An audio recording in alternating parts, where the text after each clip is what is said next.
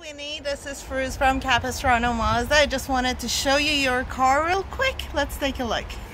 So this is the black one, black with black interior. Sorry for the dust.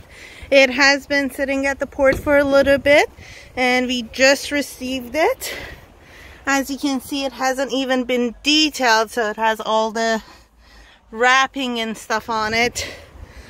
Um, just wanted to show you. We just got the car. And as soon as it gets cleaned and detailed and uh, ready for the lot we have to put it on the inventory.